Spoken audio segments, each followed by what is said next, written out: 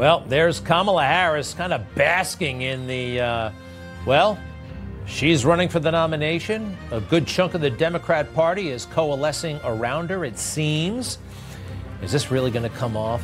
Anyway, you probably know how I feel about her. And uh, I really got some amazing insight into Kamala Harris because I read Peter Schweizer's book, Profiles in Corruption Abuse of Power by America's Progressive Elite. I just read it before she had been uh, selected as Biden's VP four years ago, and I'm so glad I did. Peter Schweizer joins us now, the great investigative journalist slash author slash uh, government watchdog. Welcome back, Peter. Um, overall, before we talk Kamala, just what do you think about how this all went down and Joe Biden departing the race? Uh, it all seems obviously weird and kind of unprecedented. What are you thinking overall? Uh, my theory is is that this is really a uh, Barack Obama-induced coup, uh, in effect. Um, you know, Barack Obama bragged in 2020 to Stephen Colbert that um, he didn't want to serve a third term, but he'd love to sort of be in the background during somebody else's third term and have them carry out his policies. Uh, people interpreted Joe Biden's uh, first term as Obama's third term. I don't think that's the case. They're not particularly close. They don't like each other. Uh, and when there was weakness with Biden uh, in the debates, uh, I think Barack Obama took the opportunity, uh, and he's the one that steered it. Uh, as, as you know from reading the book, uh, Kamala Harris and the Obamas go way back before he was a U.S. Senator, and she would certainly be much more in tune with carrying water for Barack Obama than Joe Biden would be. Yeah, it, it would be like she's still working for him. Um, all right, what do we need to know about her? Uh, I think in your book you document how she came to power, and quite frankly, uh, a big chunk of it had to do with her extramarital relationship with Willie Brown. She wasn't married, but he was, and they carried on in public. Willie Brown, a big shot in California, and hooked her up with all kinds of jobs. Yeah, that's right. Uh, he was Speaker of the California Assembly at the time. Uh, she started dating him. She was 29. He was 60. He was actually a couple years older than her own father. Um, and because he was the Speaker of that California Assembly, he hooked her up on several government commissions. One paid, I think, $90,000 a year. She had to show up once a month in Sacramento for that gig. She got another gig that I, if I recall, paid $112,000 a year. Again, she had to show up once a month in Sacramento. She bought him a BMW.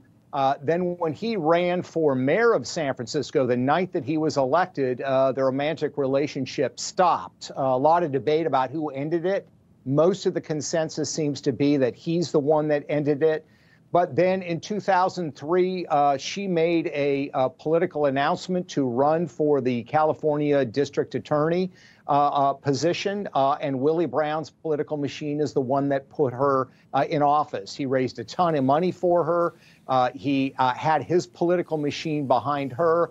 And that's what really created Kamala Harris. So they remain connected socially as friends. In fact, Willie Brown is still singing her praises and has even called on uh, the current president, um, Joe Biden, to step down so Kamala can be uh, the sitting president as well. Wow. Uh, so, uh, by the way, do you think she's got it locked? We know she's close with Obama, and Obama's kind of running things. You sense any potential hiccups in this plan? You know, Michelle possibly getting in. I mean, does she really pull all that well? It's kind of outside your area, but I don't know. I mean, she was such a goofball for the first two years. She kind of laid low. She's not good at her job, right? Uh, she's not. Uh, she's certainly not good at campaigning. We saw that in 2020. You know, every previous political race she's ever had, it was in basically a one-party state, which is California. So I don't know how good she's going to be on the campaign trail they may revert to what they did with Joe Biden of a sort of quasi basement strategy where they keep her very controlled and very, very limited. Uh, but the money is showing up. A lot of money has flown in, into the campaign with Joe Biden's resignation. I think that was the only other concern. And the Obamas really control the Democratic Party these days. Uh, the Clintons are old news. Um, so I think if the Obamas are happy with her, and I think they are, um, she uh, is going to be the nominee and on the ballot in November. I don't think Michelle Obama is a viable alternative. Uh, by all accounts, from people that know her, she hates politics. She does not like politicking. She does not like the rough and tumble. Um, so, as appealing as it is, uh, Michelle Obama wants to be America's mom. She does not want to be America's president. So, Kamala Harris is the one that they're going to ride to uh, in November. Well, if she wants to be America's mom, she's uh, there's a little bit of child neglect going on. I don't think she's in America all that often. She's jetting off to all kinds of places and kind of an absentee mom. All right, final thing here. Um, we know that Joe Biden is compromised. I mean, everybody in the world knows that. And the China stuff that you reported, and these weird checks from his brother, and who knows what else. Do you think when they were trying to convince him to uh, step down, that things got a little hardball behind the scenes. Look, they weaponized the DOJ against uh, Donald Trump and many others. They could conceivably do the same thing to Joe Biden. You know, do you want to have a nice post presidency or do you want things to get really ugly? Yeah, my theory on this, I don't have any hard proof, but I think we probably will in a few months, uh, is I think that Joe Biden basically negotiated an exit package for himself and for his family. Uh, in other words, when the big money people came to him and said, Joe, it's time to go, uh, they basically staked out a hard position as a negotiating strategy. And I think that we're going to see over the next six months or so uh, that members of his family get consulting deals. Joe gets some deals of his own.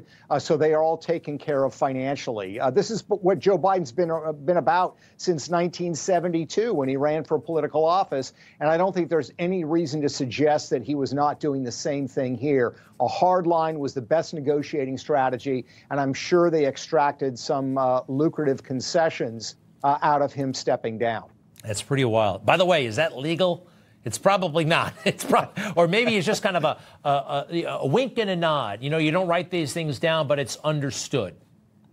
Yeah, that's right. You know, it's, well, you know, I'm just looking ahead. If I do step down, what will the family do? Oh, I think Bill over here might have an opening. We could put you in touch with Bill. Yeah. Uh, they're very good about doing this in a way where it's not exactly a quid pro quo, but the end result is the same. A deal has been made. Peter Schweizer, thank you very, very much. Your last book, Blood Money, was awesome. When's the next one? What are you working on?